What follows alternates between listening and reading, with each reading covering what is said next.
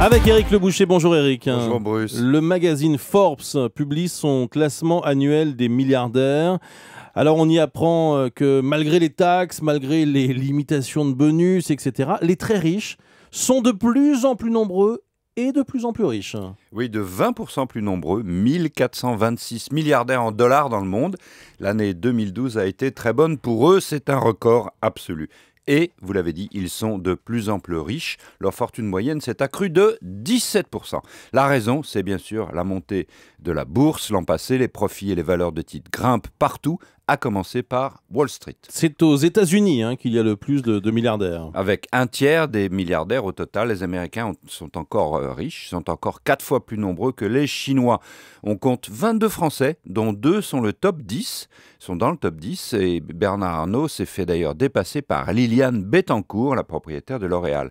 L'homme le plus riche du monde, vous l'avez dit tout à l'heure, reste le Mexicain Carlos Slim, le géant des télécommunications, avec une fortune de 73 milliards Il est devant Bill Gates, mais Warren Buffett, le gourou américain de la finance, cède la place de troisième au fondateur de la marque Zara, l'espagnol Amancio Ortega. Alors, c'est ce qu'il faut noter dans ce classement 2012, euh, c'est que plusieurs autres fondateurs de marques de mode font leur percée dans le classement. Oui, comme Renzo Rosso, le fondateur des jeans Diesel, Domenico Dolce, Stefano Cabana, fondateur des vêtements qui portent leurs deux noms.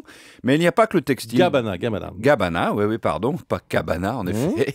Mais il n'y a plus que le, il n'y a pas que le textile.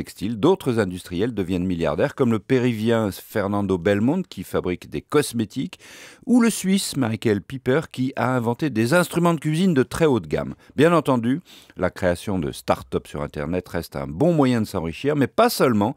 L'innovation est récompensée partout, comme Nicolas Woodman, le jeune créateur de ces caméras vidéo GoPro qui font un malheur cet hiver au sport d'hiver. Vous savez, c'est celle qu'on met sur son casque pour filmer ses vacances. Et la finance? Bah, Elle enrichit encore beaucoup, mais beaucoup moins.